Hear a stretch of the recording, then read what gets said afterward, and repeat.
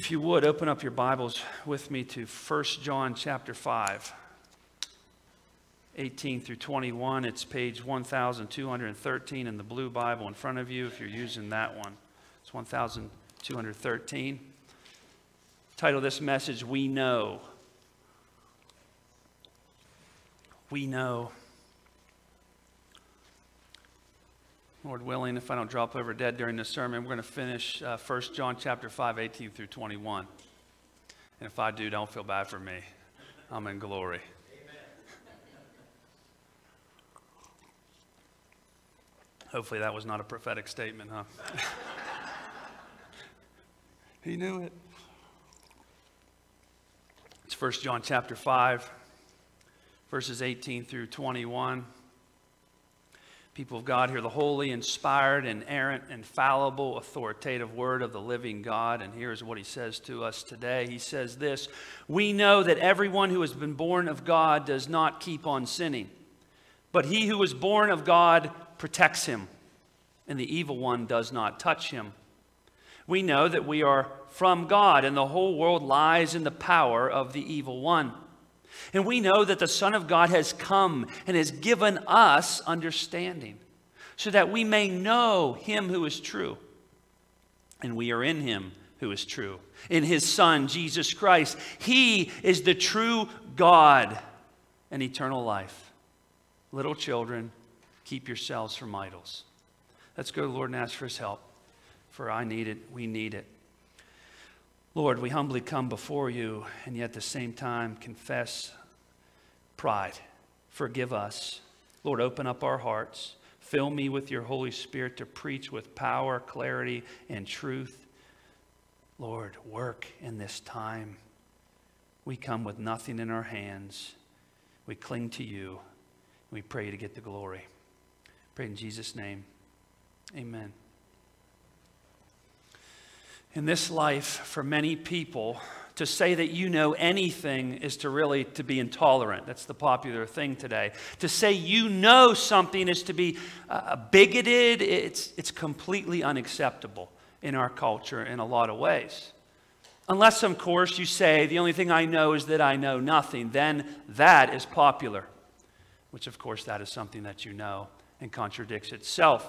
But it's the day and the age we live in. It's the world in which we live in. It's the way the world is and the way the world is going. But John here today is leading us in a different way. He's leading us in a different direction from the way of the world. John is going against the grain. And so must we as Christians in this world we live. And as we end First John here today, as I said, John doesn't want us leaving this letter with a bunch of uncertainties. He doesn't want us walking out of church with a bunch of unknowns. He doesn't want us driving home today or out to eat, just throwing our hands up in the air and saying, I don't know. I don't know. John leaves us as we leave First John today wanting us to be certain of things, wanting us to know things, and wanting us to know some of the most important things in this life to know. Sure, there are a lot of unknowns in this life. Sure, we don't know everything. The secret things belong to the Lord. Sure, the Lord doesn't give us everything and help us know everything about everything, but God wants us to be certain about certain things. And we can see in this text there's three specific things that John and the Lord want us to be certain we know. And here they are. We are protected. We know God. And keep yourselves from idols. Let me say that again. As we leave here today, as we leave First John, God wants us to be sure that we know we are protected, that we know we know God, and that we know we need to keep ourselves from idols. And if you can get that in your head and in your heart today, or if you already know that and you're convinced of that, to, to more anchor that in your soul today, you will be in far better shape. This will be very helpful to you today. And it'll help you, it'll help me, and it'll help others as we go out into that world and share what we know. Let's start where the passage starts with we are protected. It's the first thing we need to know. Starting verse 18 there with me, says this we know that everyone who has been born of God does not keep on sinning, but he who is born of God protects him, and the evil one does not touch him. Now, that might sound somewhat familiar. And as we've seen through First John, John keeps coming back to different topics, similar topics, sometimes the same topics, and he hits them from different angles. You'd say, oh, here we go again about him saying about not sinning, but he hits it from a different angle today. And here in the first passage, it is. And he says that the true Christian, everyone born of God, saying the true Christian does not keep on sinning. But we know we keep on sinning. So, what is John really saying here? Well, think of the context. Remember back when we went through 1 John 3 9, what did John say there? He said this No one born of God makes a practice of sinning. No one born of God makes a practice of sinning. And yet in 1 John 9, or 1 9 through 10, he said, if we sin and we confess our sins to God, He is faithful and just to forgive us our sins. So John says we don't keep on sinning, we don't practice sinning, and yet over here he says, but we do sin. So what is John saying? Well, as we looked at before when we looked at 1 John 3 9 is that John says we don't, as Christians, make a habitual practice of sinning, a style of our lives. We slip into sin, unfortunately. We'll go after sin for a time, unfortunately, but we don't jump in the pool of sin and just stay there and swim around going, I love it here. I'm going to stay here forever. True Christians will not do that. They may fall for a time, but they will not stay there. Makes me think of what was just recently told to me this week about a drag queen preacher named Penny Cost. I mean, I'm not making this up. I mean, it's just the first drag queen, and I don't mean to pick on the Methodists, ordained in a United Methodist Church, which is why we have people fleeing that and coming here and praise God that you have. And the other Christians in that denomination and others like it need to flee as well. But penny cost, the pun, right, making fun of Pentecost of all things, blasphemous, often goes and travels around to pulpits blaspheming the name of God, who said, as he, dressed up as a she, was referencing the queer Bible commentary. I don't have that one in my library, nor will I ever. referencing that says that he wants to rethink the cross, reevaluate the cross of Jesus Christ. Doesn't really like a substitutionary death and blood and all that, but instead look through the lens of queerness, look through the lens of drag. Doesn't even make sense.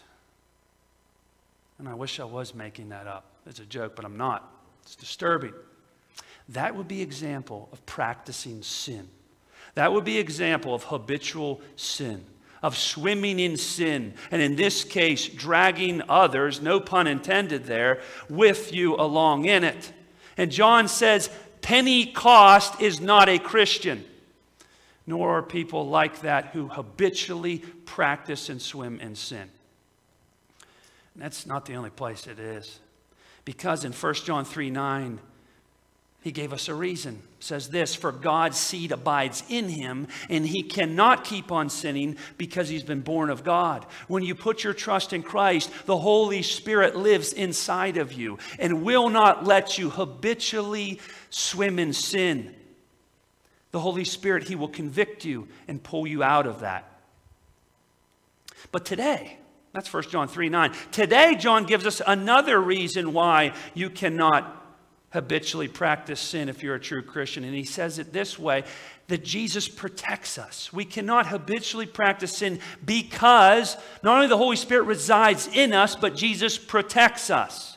He says it there when he says in verse 18, the second half, this But he who was born of God protects him. Now, there are two ways of looking about who is it that protects us? Some will say, that's us. We're the ones protecting us. And there is some truth in that in the Bible and overall context, right? We're told to fight against sin, us. We're told to resist the devil and he will flee from you, James 4, Ephesians 6, and others. But that's not the context here. That's not what John is referring to here. He's not talking about us protecting us here. He's talking about Jesus protecting us here. Think about how John refers to, in John 1 14 to Jesus. He says this, and the Word became flesh and dwelt among us, and we have seen his glory. Glory as of the only Son from the Father. God's Son, perhaps more, even more explicitly, Luke 135. And the angel answered her, meaning answered Mary, the Holy Spirit will come upon you and the power of the Most High will overshadow you. And here it is. Therefore, the child to be born will be called holy, the Son of God. It is He, Jesus, who is God, born in the flesh, born of God in the flesh by Mary. It is He who protects us. And listen to how Jesus words it in John 10 27 through 28. My sheep hear my voice, and I know them, and they follow me. I give them eternal life, and they will never perish, and no one will snatch them out of my hand. Jesus says, I protect my sheep. Christians, I protect them, Jesus says, and no one will snatch them out of my hand. That's the protection of the absolute certainty of Jesus Christ. But what does he protect Christians from? it's really the next question, right? From trials, from hard times. Is that what he protects us from? No, he promised the, the exact opposite. We would go through them. Right? We have Christians that die every day across the world for the faith. Pastors are in jail right now in many countries for being Christians and preaching the gospel. You read in like Voice of the Martyrs and others how Christians, when they turn to Christ, their heads are cut off in other countries. We can't even fathom it. Their families are raped and tortured for following Christ. All the apostles died a martyr's death except for John, who wrote this, and he went through his fair share of torture for the faith. So, John, of all people, knows Jesus does not promise to protect us from hard times, from trials, from even death for the faith. So, what does Jesus protect us from? Well, what has John been talking about in his letter overall, in the context? Back in 1 John 2, what did John say? He brought up these people who were professing Christians, were in the confines of the visible church of Christianity, who left Christianity, who once said Jesus is the Messiah, who once said Jesus is the eternal God, but left, and now we're saying the exact opposite. They even said you can make a habitual practice of sinning and it doesn't matter to God. Live like hell, it's fine. That's what they were saying. And John's been fighting against that through his letter. So if you put that all together, what I believe John is saying is Jesus protects us from doing what they did. The true Christian can't do that. You will not leave the faith. You will not buy into those heretical doctrines that say Jesus is not your Savior, that Jesus is not the eternal God, because Christ protects you. The enemy, the evil one, is always trying to deceive us, is always trying to pull people away from Christ. And he does it even here. Always try to get you to doubt who he is, what he's done for you. Even he attacks us as true Christians. And yet you cannot truly be saved and truly lose your salvation because Jesus will keep you in the faith. He will protect you. He will never fail you. John even says in 1 John 2 about those people, knowing that some might be tempted and they were struggling with this, that people in 1 John would be tempted to think those people left Christianity. They were truly saved, then they left it. In that context, John refutes that very idea when he says this in 1 John 2:19. They went out from us, meaning they left Christianity, but they were not of us they were not Christians. For if they had been of us, they would have continued with us. But they went out that it might become plain that they all are not of us.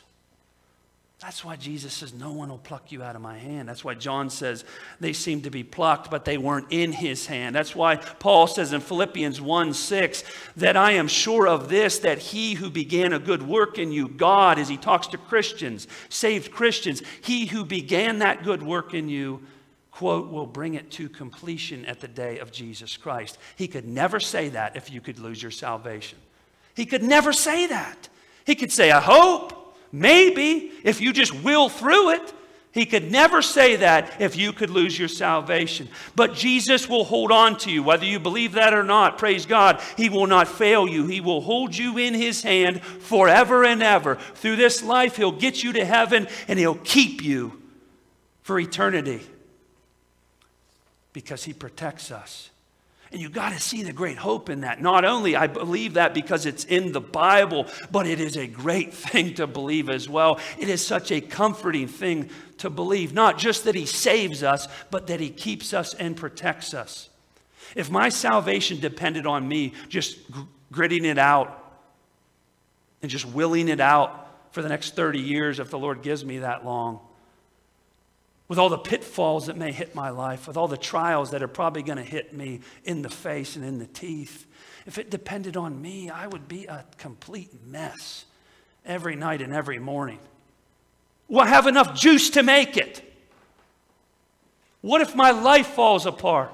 What if my stepbrother dies?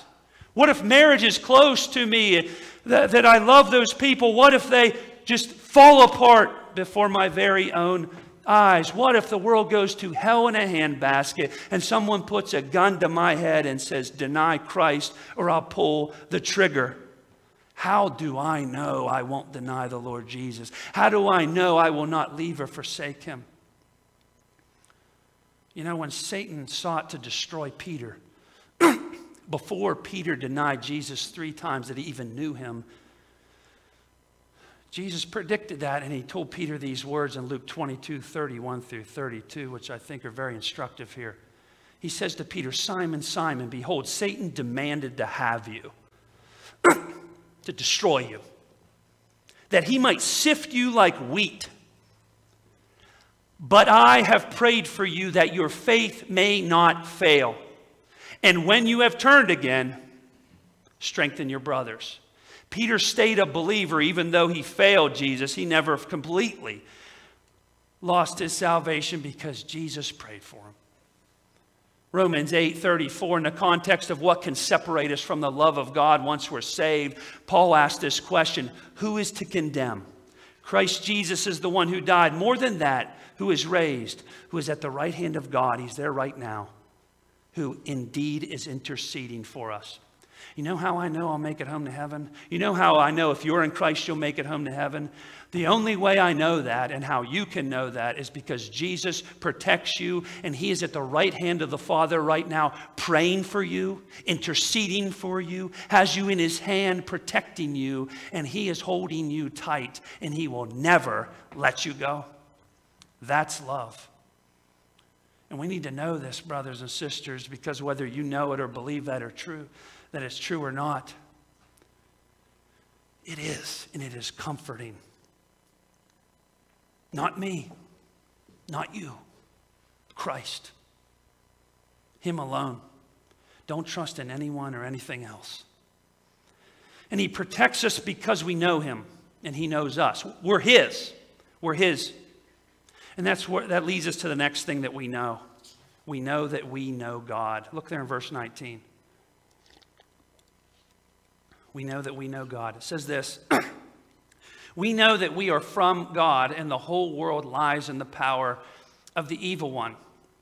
And here we see in verse 19 the great reality that Christians who walk with the Lord for any amount of time often take for granted, if you're anything like me. We often take this for granted. It's this that we know God. And that's exactly my point. You're like, yeah. That we know, let that sink in a minute. If you're in Christ, if you're saved here today, you know the living God. and John tells us that there is a great divide, really, because right after that he says the whole world lies in the power of the evil one. There's a great divide in this world. You're either a child of God or a child of the devil. And Jesus tells the Pharisees in John 8:44 what? You are of your father the devil, and your will is to do your father's desire. There's children of God and children of the enemy. There are people who are born of God, and there are people who are not. Jesus said in John 3 3, Truly, truly, I say to you, unless one is born again, he cannot see the kingdom of heaven. You must be born from above, born of God, born again. And there are people who receive Christ, and there are those who do not. As John said in John 1 12, but to all who did receive him, meaning Jesus, who believed in his name, he gave the right to become children of God. And we who are in Christ here today, who used to be under the sway of the evil one, who used to be unsaved, unforgiven, on our way to hell, God has, in His grace and mercy and sovereignty, reached down and saved us. And because of that, we now know God. He is now our Father, and we are His sons, we are His daughters. That should blow us away. but it's not all. You know how we know him? Verse 20. The Son of God has come and has given us understanding so that we may know him who is true. You and I didn't figure this out ourselves. You and I just didn't have better decision making than the others who didn't choose Christ. We have been giving understanding, he says, so that we may know him. It is of grace purely. And then John continues with a statement that should rock our worlds. He says in the second half of verse 21 this And we are in him who is true, in his Son, Jesus Christ. He is the true God. Can you get any more explicit than that about Jesus' deity, his divinity? He says he is the true God. And there are many out there today who say Jesus is not the true God. They'll say that he was a great prophet, but he was not God. They'll say he was a great teacher, but he was not God. He was a great man, but he was not God. And yet, God Himself in His Word has made it crystal clear that Jesus was not just a great teacher, He was God in the flesh, the God man who taught us. He was not just a great prophet, He was the greatest, and who has spoken through all the prophets who have ever been truly speaking for God. He is God in the flesh. John himself, who wrote this letter, wrote in his gospel, John 1 1 through 3, brings it out very clearly, says this In the beginning was the Word. That's Jesus. And the Word was with God. And the Word was God. And then he says, All things was, were made through him. John 8 58, he says to the religious leaders, Jesus says this, blew them away. They didn't like this. Truly, truly, I say to you, before Abraham was, I am. Jesus claimed, I am the great I am. Jesus says, I am God in the flesh. I have always existed. It's me. And after poor doubting Thomas, as we call him, sees the resurrected Christ, he confesses in John 20, 28 to Jesus himself, My Lord and my God. Jesus is God. Now, where am I going with this? Think about it for a second. That Jesus, the one I just described, is the one who came for you. That is the Jesus who lived a perfect life on this earth for you. That is the Jesus who let his own creation crucify him for you. That is the Jesus who rose from the dead for you, defeating sin and death, showing that God's stamp of approval, his sacrifice worked. And it is that Jesus, God himself, who loves you, who cares for you, and who protects you. And yet, it's the one that John describes in Revelation, another book he wrote, 1 14 through 16, where he describes him not as a meek lamb this time, but more of a conquering king. He says this in John or Revelation 1 14 through 16 about Jesus. His eyes were like a flame of fire. His feet were like burnished bronze refined in a furnace. His voice was like the roar of many waters. In his right hand he held the seven stars. From his mouth came a two edged sword, and his face was like the sun shining in full strength. You ever try to look at the sun shining in full strength? Don't do that. John tries to describe what Jesus looks like. It's like he's like that. He's that incredible. Do you realize that you know God, that you know this Jesus, and do you realize how amazing He is? The one who, when he saw his friend Lazarus dead, he saw all the people weeping, and his friends Martha and Mary, the sisters of Lazarus, he takes it all in. And John 11 35, it says, Jesus wept.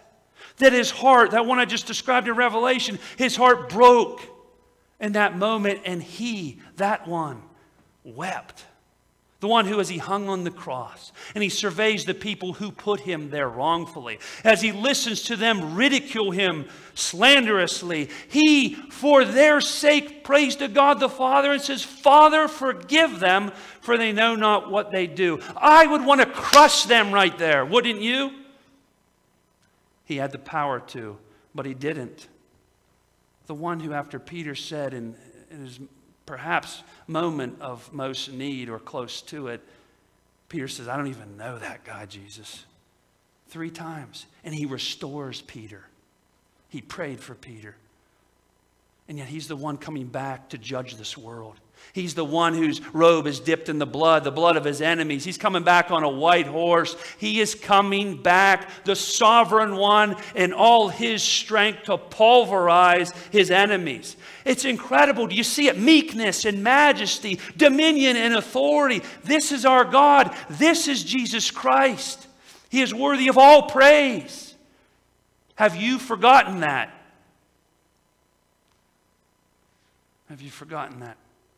And if you're here today and you don't know this Jesus, if you've just played church all your life, or maybe you've never played church, but you're playing today, or maybe you know of Jesus, but you've never truly trusted Jesus, you don't actually know him intimately, today is the day to turn to that Jesus, that one, and live. Life is short, it is such a vapor. As I get older, and I'm only 37, I am reminded more and more of that. I was reminded of that again yesterday as I did a funeral. I was reminded of that last week as we were in the jail doing ministry, and a guy was crying because he remembered burying his 15 year old daughter who died in a car crash. I was reminded of that two and a half years ago doing my stepbrother's funeral, who I had hoped and prayed would be up here using his gift of music for God's glory right beside me. I was a kid yesterday. I'm 37 today. I'll be dead very soon, and so will you, my friend. As I looked at those people in that funeral home, and as I talked to one of the people there who was a believer, said, Most of my family doesn't know the Lord. And I just look at these people that if they don't turn to Christ, will spend an eternity in hell, which I deserve as well, but won't because of Jesus Christ it disturbed me, and it disturbs me right now. And that's what should keep us up at night. That is what should bring tears to our eyes. And if you're in here and you don't know Christ, don't let that be you. Turn to the eternal God as I just described, Jesus Christ, who has his arms wide open to receive sinners like you, like me, who bids you to come today. Come and be forgiven. Come and be saved. Come and be redeemed. Come and receive eternal life. Come, come, come. As Paul says in Romans 10 13, everyone who calls on the name of the Lord will be saved. That includes you this morning. There's a distinct choice in this life. You can follow idols or you can follow Jesus Christ. And even believers can get swept up in uh, idolatry as well. Which is why I think at the end of this letter, in the last verse, John gives us another thing we need to know, and it's this keep yourselves from idols. Keep yourselves from idols. Look with me in our final verse of 1 John, it's verse 21. It says this Little children, keep yourselves from idols. Now, here John uses that term of endearment, of concern, of love that he's used before in his letter, little children. The apostle of love. He loves the sheep, he loves these Christians he's writing to. And he says, Keep yourselves from idols.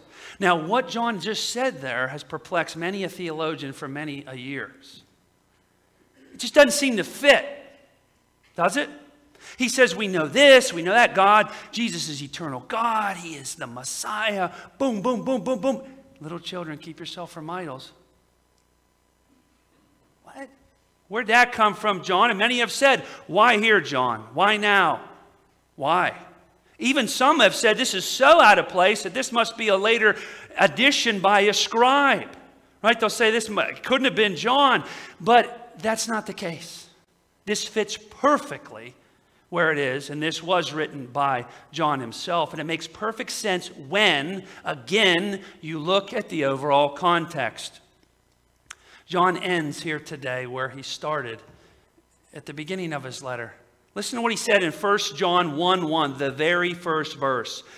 That which was from the beginning, meaning Jesus, which we have heard, which we have seen with our eyes, which we've looked upon, we have touched with our hands concerning the word of life.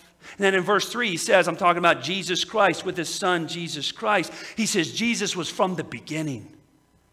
Makes you think of what he wrote in his gospel, what I quoted earlier. In the beginning was the Word, and the Word was with God, and the Word was God. John is pointing to Jesus Christ, the eternal God, in verse 1. And then here in verse 20, at the end of John, he says even more directly, even more succinctly, Jesus Christ, quote, He is the true God.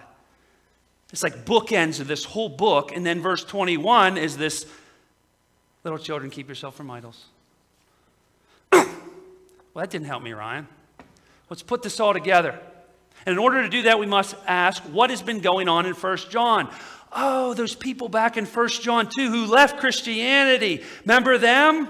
Remember what they were saying? Jesus is not eternal God. Jesus is not the Messiah. They had put up an idol. And John has been refuting their claims throughout his letter. And that's why at the end, after he brings it back around, he starts with Jesus is the eternal God and says he's the Messiah as he goes through. Here he says he's the Messiah, he's the eternal God. He points to Jesus, the true Jesus, who Jesus actually is. And then he says, in the context of those who left Jesus, keep yourself from idols. Keep yourself from idols. You see, back then there were gods all over the place gods of wood, gods of metal, stone. They made gods for everything. Still like that in places of the world, although we don't often see it around us. But it's here too. But often in our, culture, we become much more sophisticated in our idol worship. We find people worshiping the God of self, worshiping other people. There was even a TV show, maybe it's still on, used to be American what? Idol. Idol. Some make idols out of their homes. Some make idols out of their cars. Some make idols out of their careers. Some make idols out of their kids, even. Some make idols out of their, their spouses. who, whatever, we, uh, what Calvin said, our hearts are idol factories. We just manufacture them left and right. Not that anything is wrong with kids and homes and cars and all the blessings God gives us, but what's wrong is when we take our comfort, when we take our security, when we take our fulfillment out of Christ and we start switching it into these things, which is so easy to do. So easy to do when we have lots of them. But John says, little children, keep yourself from idols. Don't follow a false Christ as many man made religions do, and don't follow idols of any kind. And it's really the choice, isn't it? You have the eternal God, Jesus Christ, worthy of all adoration and praise and glory, or you can go worship and praise something else that is far less, not even comparable. You have Jesus who is worthy of all who can fulfill every desire that has been given to you by God, your God given desires. He can fulfill every need you have. Or you can go for all these trinkets in this world that often we try to cash in on, that leave us destroyed, broke, and broken. One is the truth Jesus Christ, and everything else are liars and idols. Choose what you want to follow. When I was at that funeral yesterday, I, well, I was there, verse 21 right here came, boom, came right to me. It had nothing to do with the deceased there. It had nothing to do with actually the, even the funeral or the family. Not, nothing there at all. But as I went to the gravesite, we we're going to do the gravesite dedication, right? We're walking. And a, a headstone, before we got there, I noticed, uh, completely unrelated to the funeral, something that caught my eyes laying on that headstone. It struck me. The headstone had this on it. There was a husband and wife buried beside each other. And on the left, the wife. And there in front, laying on that headstone, said, The Lord is my shepherd, I shall not want. I thought, wow, praise God. But to her husband, to the right, was laying right in front of his name, above where he would lie in the ground, above his head. Guess what it was? A beer can. And it just hit me. That's it. You know why I thought that? Because that morning I was trying to rush around to get this third point. I was on this point of the sermon. And I'm like, okay, I got a funeral. Then I got I'm going to try to get some of this done, you know, as I already been working on it. And my computer freezes. I went, oh, the enemy. He's attacking. But the, my computer freezes, and I go, What is this? I'm having trouble getting this thing started. And I just get this strong impression from the Lord. He doesn't want me to continue on because there's something at this funeral He wants to show me or tell me that's going to go in this point of the sermon. Can explain it. It was a strong impression of the Lord. I said, Fine, Lord. Shut down the computer, went upstairs. And I'm at this funeral, and I'm just, I forgot about that. But when I saw that on that headstone, I went, That's it. It just hit me. Why was that it? Now, I have no clue about those people at that tombstone. I don't.